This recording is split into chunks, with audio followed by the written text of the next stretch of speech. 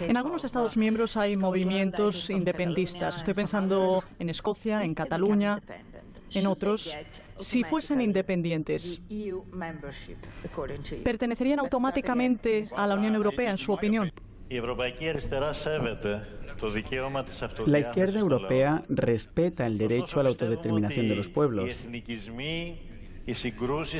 Pero pensamos que los nacionalismos, pensamos que las confrontaciones, las oposiciones de unos pueblos contra otros nunca llevan a un resultado positivo, nunca.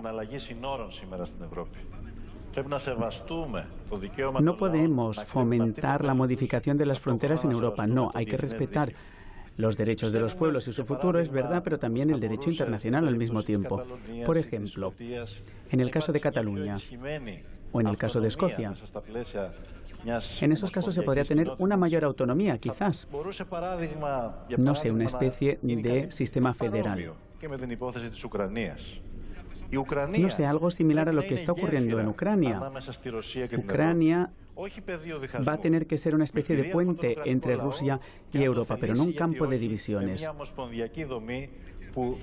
Es importante que el pueblo de Ucrania pueda expresarse, a lo mejor elegir una estructura federal que favorezca la paz.